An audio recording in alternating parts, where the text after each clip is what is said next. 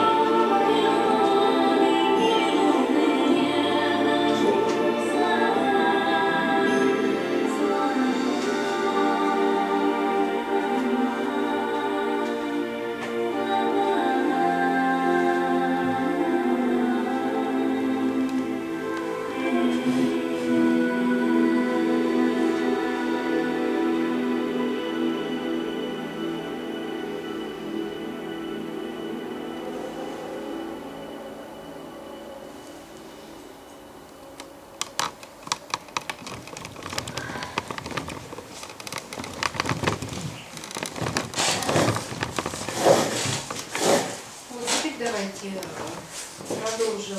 Будем сейчас, вот чтобы нам от этого ребенка уйти, чтобы нам сделать его счастливым, мы будем учиться это делать. А, Как нам отличать эти части? Э, Внутренний ребенок – это всегда «хочу».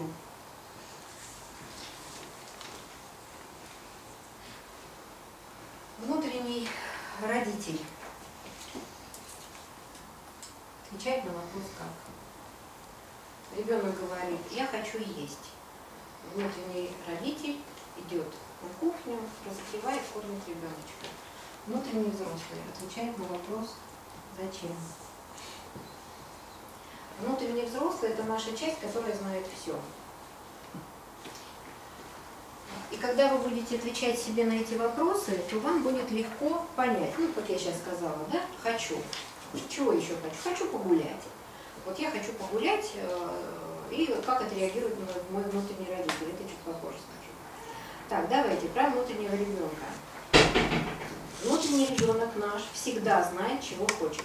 Вот скажите, пожалуйста, мы все взрослые люди, а, если вам зададут такой вопрос внезапно, я вам задаю, чего вы хотите? Кто может ответить моментально? Можно ответить сразу быстро? Нет. Нет? Это такая физическая потребность. А, Я вам про это сейчас еще скажу, очень интересная вещь, про есть и про пить. А, Бывает так, когда человек, а, ну есть алекситимия, есть такая, такой диагноз, это когда человек а, не, не чувствительный, он не чувствует, не чувствует себя, не чувствует других, не разбирается в эмоциях. И, а а есть просто люди немножко равнодушные без этого диагноза, но э, это то же самое, когда вы почувствовали раздражение, но вы еще не знаете из-за чего. Вы просто почему-то раздражены. Почему-то вам кажется, что люди в автобусе так громко разговаривают. Или кто-то вас толкнул в метро. Вы бы раньше это не заметили, а сейчас вы почему-то заметили. И здесь вы себя сразу спрашиваете, чего я хочу, что со мной не так. И вы даже сразу не ответите, можете не ответить, я хочу есть или хочу пить. Или я хочу посидеть. Да? То есть это называется эмоциональный интеллект, который нужно нам с вами в себе развивать. А, сейчас это модно, сейчас это вот так вот как-то достаточно известно, и много об этом говорят, об эмоциональном интеллекте. Еще внутренний ребенок – это наше ресурсное состояние для нас, для взрослых. Если ребенок несчастный, то что? Мотивации, у нас нет ресурсов, у нас нет сил, ни физических, ни эмоциональных. А, если ребенка любили в детстве, его оберегали, уважали, поддерживали, заботились, то его ребенок счастливый, его внутренний ребенок. То есть если живого ребенка, вот когда вы были в детстве, если вас любили, оберегали, то вы, ваш внутренний ребенок, он счастливый. И сейчас мы, Сергей Евгеньевич, вы можете мне написать? А, давайте сейчас попробуем озвучить. Счастливый ребенок, он какой? Например, а, энергичный. Да, набрасывайте еще. Какой он бывает? Радостный. Угу.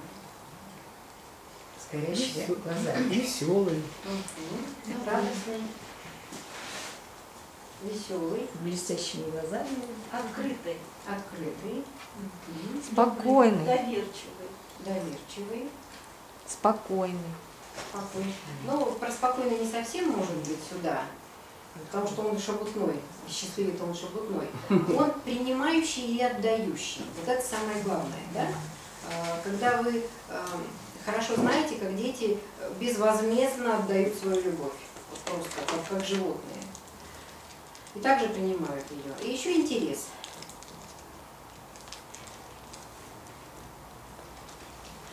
А Когда вы сегодня шли на лекцию, скажите, пожалуйста, кто смелый, а, какая часть вас привела сюда на лекцию? То есть ребенок это про хочу, а, взрослый это зачем, это взрослый это про то, что узнать какие-то новые знания, и а, родители как, как научить меня чему-то новому. Какая часть вас привела сюда? Как, наверное? А ты все три части. Зачем? Я родитель. Мгм. Может, три части? Я одна. Мгм. Так, А, да, хорошо, замечательно.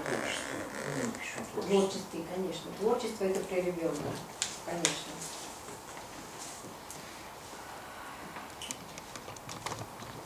Травмированный внутренний ребенок. Травмированный. Это, возможно, нежеланный ребенок, которого, которому не хватило любви, принятия, заботы от близких или значимых людей. Его не принимали как личность, его потребности и чувства подавлялись и игнорировались. Его не видели и не слышали его желаний. Он испытывает страх, тревогу, боится быть ненужным, отвергнутым. Он постоянно чувствует вину и обиду, страх критики не позволяет ему творить и быть открытым. У него много запретов, в том числе и на чувства. И когда вы последнюю фотографию видели, здесь ребенок уже внутри себя. У него слезы уже не вытекают, они уже стоят. То есть это уже следующий этап, когда ребенок уже уходит в себя. Он уже, у него потеряно полностью доверие к миру. Так, и давайте попробуем перечислить, какой травмированный ребенок, он какой. Несчастный, Плаксивый. плаксивый, Замкнутый. замкнутый, Недоверчивый. недоверчивый. Да, он потерял доверие к миру. Одинокий